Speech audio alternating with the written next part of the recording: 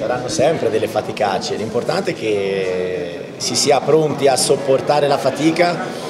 per poi dopo andare a, a raccogliere quanto hai seminato durante la settimana.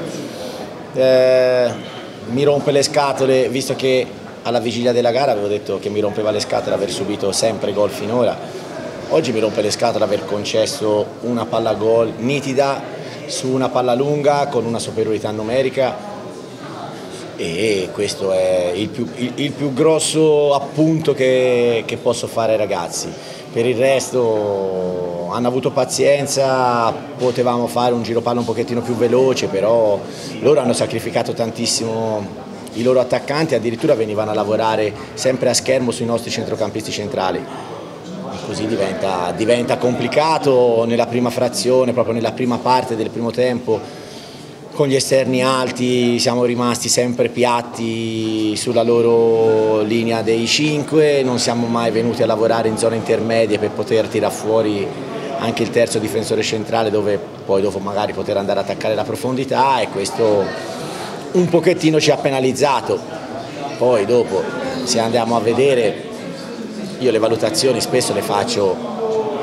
fra occasioni da gol concesse e occasioni da gol create.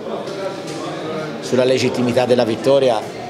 ragazzi, credo ci sia poco da dire. Poi su come è venuta, sugli episodi, sulla qualità di quello che si poteva fare, magari lì allora vi divertirete potrà essere anche motivo di discussione, però sulla legittimità della vittoria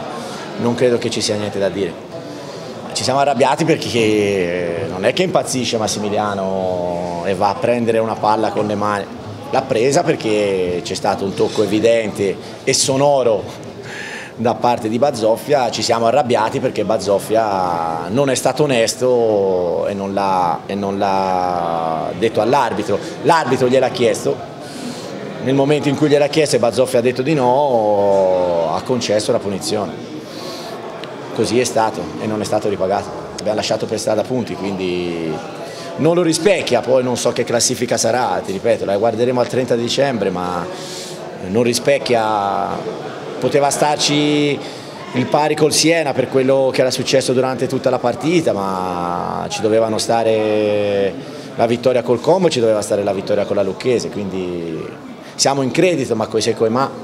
non si fa niente, andiamo avanti, pensiamo a migliorare perché abbiamo ancora, ancora tanti aspetti da, da dover limare per continuare a crescere e per dare continuità a questo ottimo inizio di stagione.